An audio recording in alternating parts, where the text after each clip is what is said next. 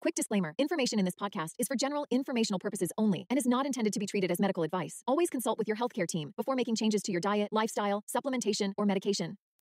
Carbohydrates are not the enemy. Alongside proteins and fats, carbohydrates add an abundance of fiber, beneficial polyphenols and plant compounds, along with vitamins and minerals.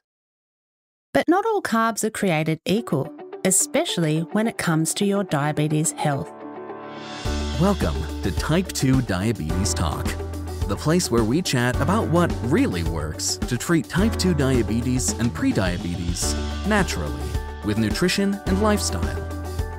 If you're looking to optimize blood sugar and A1C, lose weight, reduce medications, and improve your overall health, this is the place to be. Now, here's your host, type 2 diabetes nutrition specialist, Dr. Jedha. Hello, wonderful people, and welcome to episode 20. Episode 20. That's a nice number to achieve for the podcast, and we've covered quite a lot so far. But of course, there's no stopping because there are too many topics to cover moving forward, too, which is exciting. If you have a question or topic suggestion, remember you can go over to our website at type2diabetestalk.com and leave a voice message or email. And also, I'd like to ask that you please leave a five star rating for Type 2 Diabetes Talk on Apple, Spotify, Amazon Music, or wherever you may listen in, because your ratings help us reach more people so they too can experience the power of nutrition and lifestyle to change their health. And it's a really easy thing to do. You don't even have to write a review or say anything. Just check the five star rating and you're done. So I'd really appreciate that because it's only together that we can make a big difference. Today, we're going to delve back into the topic of diet. And what I hope you take away from our chat today is a firmer understanding of the main components of our diet, the macronutrients, and the role that each of these plays in our overall health and in terms of your diabetes management. But let's start at the very beginning. What is food? Sure, we all know it's something we eat, but have you ever really stopped to ponder on this question?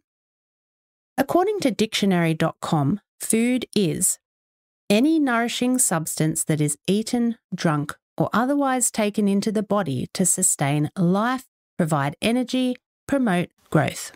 Okay, at its core, Food is any substance that provides the necessary nutrients to sustain life and promote growth. It's a blend of macronutrients and micronutrients, each serving a unique purpose in maintaining our health. In this modern era, where food has taken on numerous roles, it's more important than ever to understand food fundamentals and reasons why we need to eat. To reiterate, Food is any substance that, when consumed, provides the necessary nutrients to sustain life and promote growth.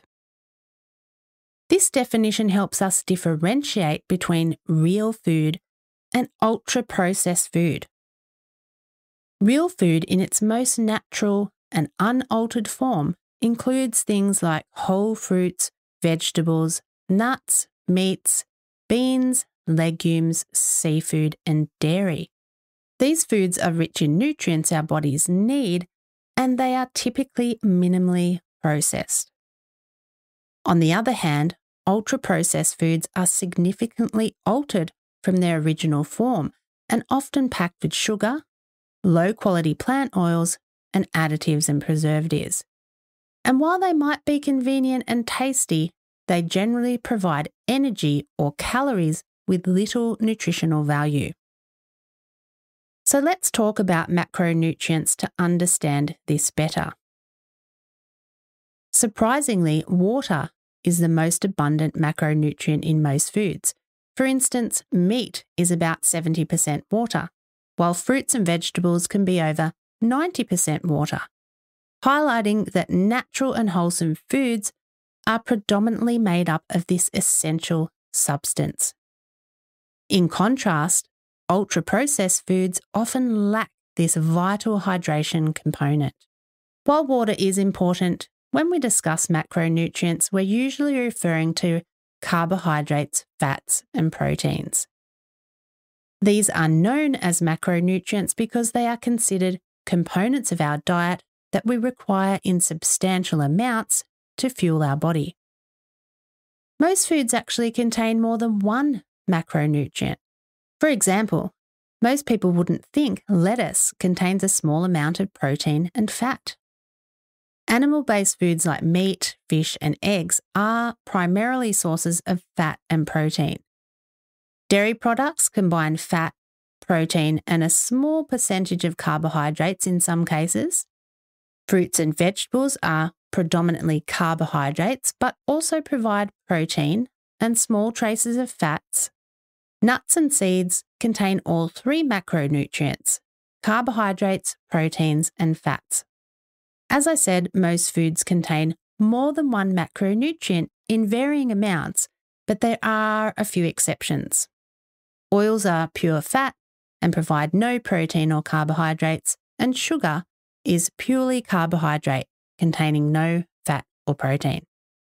So let's dig into each macronutrient to understand what they are and the role they play in the body. The first macronutrient we're going to delve into is protein. Protein is a fascinating macronutrient that is absolutely essential to our bodily functions and our overall health. At its core, protein is a family of molecules each constructed from long chains of amino acids. Imagine these amino acids like unique beads strung together like a necklace, combined into different structures to meet the body's diverse needs. Take insulin as one example. Insulin is made of 51 amino acids in two polypeptide chains joined by bridges. The fascinating part is that your chain of insulin will be slightly different collection of amino acids to someone else's because it is based on your individual DNA. Now, when we talk about something being essential in nutrition, it means that our body cannot produce it on its own. We must get it through our diet. While many substances are crucial for our body's function, like cholesterol, our bodies can produce cholesterol internally, whereas essential nutrients must come from our food. And this brings us to amino acids. The debate on the total number of amino acids and those considered essential is still, quite interestingly, under debate. Depending on what literature you read, the total number of amino acids can range from 20 to 22, and the essential amino acids can range from 8 to 10. So, most commonly, you'll see that it's 20 amino acids with nine essential amino acids and 11 non essential amino acids. And it's important to note that all amino acids, regardless of their classification, are vital for our life. So, the other non essential amino acids are still important. By being non essential, it just means that our bodies can synthesize them internally, so we don't need to get them from the foods we eat. Non essential amino acids and essential amino acids are both crucial for forming new proteins needed by the body, for example, the insulin that I just spoke about. And the point is, essential nutrients we must consume, whereas non essential nutrients our body can synthesize via other nutrients or processes in the body. Discussing protein sources, you might have heard of complete and incomplete proteins. Complete proteins contain all essential amino acids and they're typically found in animal sources. On the other hand, plant based proteins are usually incomplete, lacking one or more of the essential amino acids. A remarkable fact about protein is that the body cannot store amino acids, they must be continually consumed. And this continuous intake is critically vital because a deficiency in any one amino acid can lead to serious health issues. As we just discussed, those proteins, those amino acids, do all sorts of things. For example, they construct our insulin, the hormone that helps to regulate blood sugar. Unlike fats and carbohydrates, which the body can store, proteins and their amino acids must be a regular part of our diet. But what exactly does protein do in our body? Well, that's fascinating too. Proteins are incredibly important for our body and our health. During digestion, our body breaks the protein food sources we eat down into those amino acids, and then our body reconstructs it for use. Again, like that example, to create the hormone insulin that I just talked about. Proteins are essential for many different things in our body, building, maintaining, and repairing all the body's tissues, including muscles, organs, skin, and hair. They play roles in everything from oxygenating blood and fighting infection to digesting food. Protein is a fundamental building block of life, from structuring our bodies to facilitating countless biological processes. Proteins and their amino acids are truly indispensable. So, we need good quality protein to help all of our cells and bodily processes function optimally. Are you ready to take charge of your diabetes health? Dr. Jedha's T2 diet program has been clinically proven in a randomized controlled trial to dramatically reduce A1C, weight, and medications in just 16 weeks. The T2 diet program will guide you step by step to discover an eating plan that feels natural and sustainable for you. And most importantly, works to get results. Learn more and join the program today at type2diabetestalk.com forward slash programs. Our next macronutrients is fats. Fats, also known as lipids, are a diverse group of organic substances that are insoluble in water. Nutritionally, we're particularly interested in two types of fats saturated and unsaturated, which includes monounsaturated and polyunsaturated fats. Saturated fats are the most chemically stable types of fats, and we know these are typically solid at room temperature, butter being a good example. Monounsaturated fats, categorized as unsaturated fats, are the second most stable type of fat. The most widely known monounsaturated fat is oleic acid, found abundantly in olive oil, the benefits of which have been covered back in episode 14. Polyunsaturated fats, also categorized as unsaturated fats, refer to both omega 3 and omega 6 fats, which are essential fats, meaning they must be consumed through our diet because our body can't produce them. It's a lesser known fact that all fats and oils, regardless of their source, are a combination of saturated, monounsaturated, and polyunsaturated fats. We talked about this back in episode 14 on olive oil.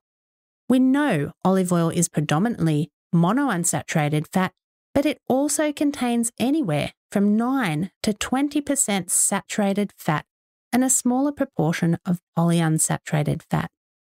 This dispels the myth that saturated fat is inherently bad and unsaturated fat is inherently good. Nature designed foods to contain a balance of all three for a reason. They each play a vital role in our health. Our body needs all types of fats saturated, monounsaturated, and polyunsaturated fats. Fats play an essential role in our bodies. First, they provide essential fatty acids, which are fundamental for numerous bodily functions. They also supply fat soluble vitamins like A, D, E, and K, which are crucial for various bodily processes. Fat is the most concentrated form of energy in our diet, supplying more than double the calories per gram compared to carbohydrates or proteins. And finally, fats certainly enhance the flavour and texture of food, making it more enjoyable and satisfying. Fats form the membranes surrounding every cell in our bodies and constitutes about 60% of our brain. They play a crucial role in cushioning our vital organs and are indispensable for overall well-being. So, a balanced intake of the right fat strengthens our cells, while a deficiency can leave them weak and susceptible to damage. In our diets, it's essential to consume both omega 6 and omega 3 fatty acids in a healthy ratio. However, modern diets often provide an excess of omega 6 fatty acids compared to omega 3. And this can lead to an imbalance that can increase systemic inflammation in our cells and have negative health impacts. We'll dig into that topic in future. But the point is, briefly, that you want to try to eat more omega 3 fatty acids because we do get plenty of omega 6 in regular foods. But overall, when it comes to fats, the point is fats are not bad. All types of fats are an integral part of our diet and they are vital for maintaining optimal health. Our last macronutrient for discussion is carbohydrates. Carbohydrates, or carbs as they're often called, are a complex category that cover many different types of foods. Carbs are made up of three components sugar, starch, and fibre. Sugars are the simplest form, like the sugar you eat from a chocolate bar or the glucose you get from a sweet apple. Starches are a bit more complex. Think of them as a chain of sugars, and you'll find them in foods like pasta, potatoes, and rice. Fibres are the tough guys. Quite literally, your body can't break down fibres, so they help keep your digestive system running smoothly. And there are two types of fibre soluble and insoluble. So, why do we need carbs? When you eat them, your body breaks down carbohydrate into glucose, a type of sugar that provides an energy source to the body. This is the most commonly known reason we need carbs. However, what's less commonly known is that carbohydrates are not an essential nutrient. If we don't eat carbs, we can make glucose from protein and our body can also make energy from fats. And this is quite a remarkable thing because our body was designed to have metabolic flexibility, allowing humans to survive and function even with varying intake levels of macronutrients, which is really quite fascinating. Now, you might have heard about simple and complex carbohydrates. Simple carbs like table sugar are quick energy sources but can lead to rapid spikes in blood sugar levels. On the other hand, Complex carbs found in foods like whole grains and legumes are said to be like a time release capsule of energy, meaning they break down slower, providing a more sustained energy source over a longer period of time. While that might sound like a good thing, and it's certainly made out to sound like a good thing in status quo nutrition, it's not necessarily a good thing for optimizing type 2 diabetes and pre-diabetes health, and I'll get to this in just a moment. Another often discussed concept when it comes to carbohydrates is the glycemic index or GI. And the glycemic index is a measure that ranks foods on how they affect blood sugar levels. So, foods with a high GI are quickly digested and absorbed, causing a rapid increase in blood sugar, while foods with a low GI have a slower digestion and absorption rate, leading to a gradual rise in blood sugar. When we consider simple and complex carbs, glycemic index proposes a sort of similar thing the rate of absorption of carbohydrates. And while the rate of absorption of carbohydrates may have some impact, the research on things like eating complex carbs or even the glycemic index has shown little, if any, beneficial effect for those looking to improve their diabetes health. And here's why. Let's consider a whole grain, complex carbohydrate food like brown rice. Half a cup of cooked brown rice contains around 22 grams of carbohydrates and around 1.8 grams of fibre. So when we retract the fibre, which isn't digestible, you'd be left with about 20 grams of available carbohydrates that you're consuming. When looking at food labels, a lot of people with diabetes think they need to look at the sugar. If we were looking at the sugar in brown rice, you might be thinking, it's super low in sugar, only 0.34 grams. And then that might have you thinking, well, this food looks great for me. But that's not so because the 20 grams of carbohydrates converts to glucose or sugar in your bloodstream. If we were to think of this in terms of sugar, you'd be eating about the equivalent of five teaspoons of sugar. The glycemic index of brown rice ranges from low GI of 50 up to a high GI of 95, depending on the rice. But regardless of the glycemic index, your body will still have to deal with the 20 grams of carbohydrates. The point is, complex carbs and those low in glycemic index may absorb slower, but that doesn't take away the amount of carbohydrates a food contains. Your body will still have to deal with the carbohydrates, period. And what we just learned together here is that carbohydrates are not an essential nutrient. And the thing is, we have all gotten to a point where we do eat way too many carbs. Our modern diets have become completely unbalanced. Carbohydrates are not the enemy, though. Alongside proteins and fats, carbohydrates add an abundance of fiber, beneficial polyphenols, and plant compounds, along with vitamins and minerals. But not all carbs are created equal, especially when it comes to your diabetes health. Sugar, which we now find in thousands of food products, adds no nutritional value to our diet. It is 100% carbs with no other nutrition. It adds energy or calories, but is completely devoid of any other nutrients. Completely devoid.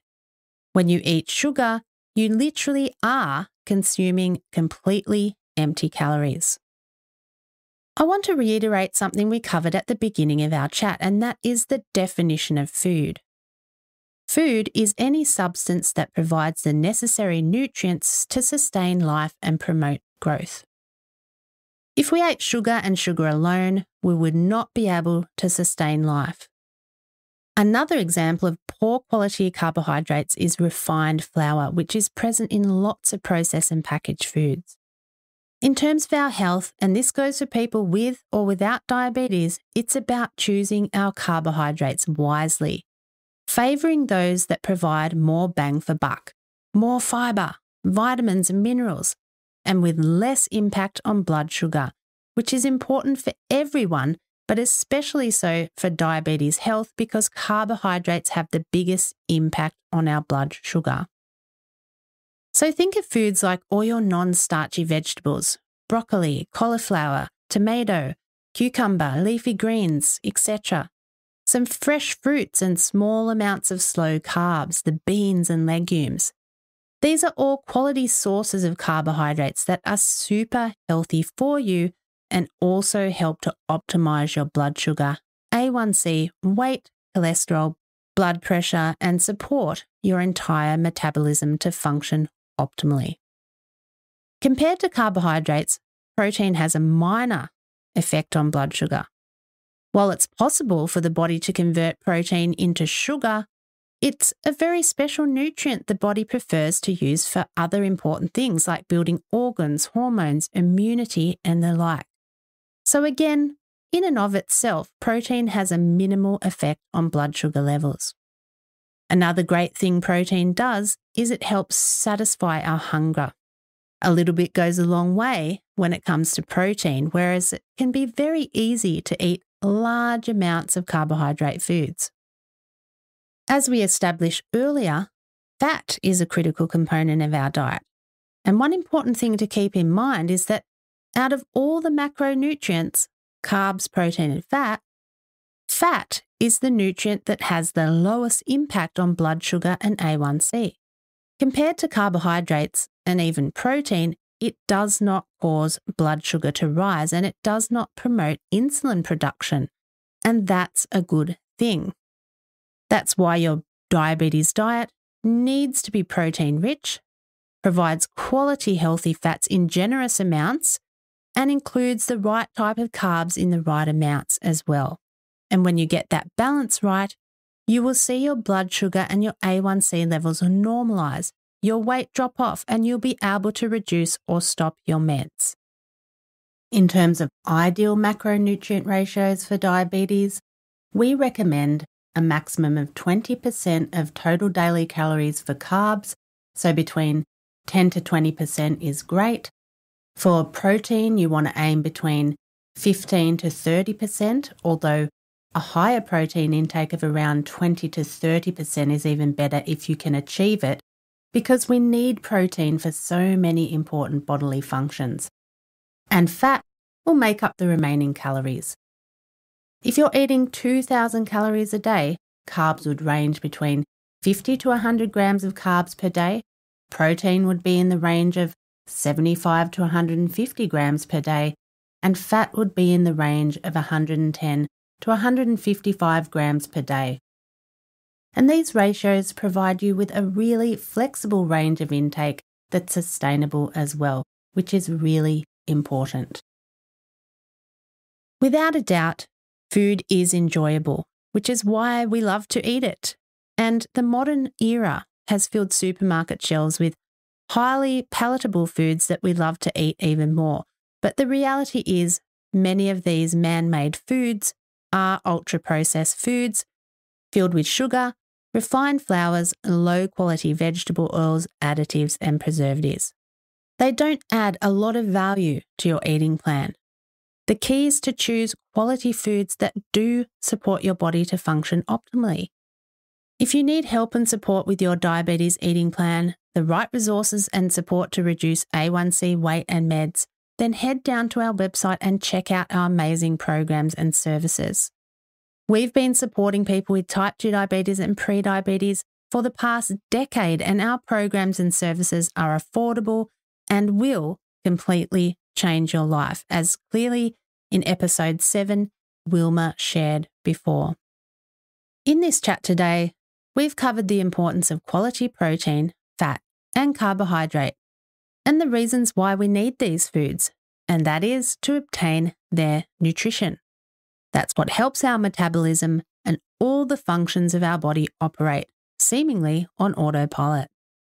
And as I've said many times before, when we choose real food in its most natural and unaltered form, including things like whole fruits, vegetables, nuts, meats, seafood, and dairy, we can support our body to function optimally. The distinction between nourishing real food and nutrient poor ultra processed food is crucial in making choices.